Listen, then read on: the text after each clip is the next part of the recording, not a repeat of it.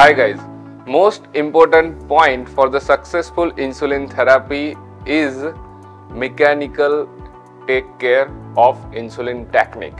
Because most of the time when you think your insulin therapy is failing the first and foremost step you need to look into is whether your technique is right or not. And that is what we have discussed in this RSSDI 2023 Diabetica insulin injection technique.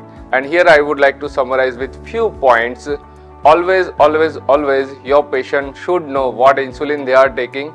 Your patient must be instructed regarding the brand which they are taking. They may have uh, to carry the card which is naming that brand.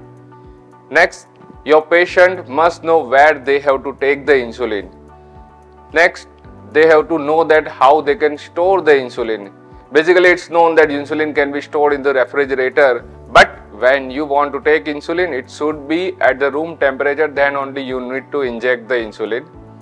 And last line but most important once you are injecting inject at the clean skin surface inject at the 90 degree. If you are thin and lean you need to inject at the 45 degree. After injecting you need to press the plunger fully wait for 10 seconds and then gently remove it and do not forget to discard the needle appropriately and every day change the needle. If we just follow this protocol, you can get the best, best result from your insulin therapy.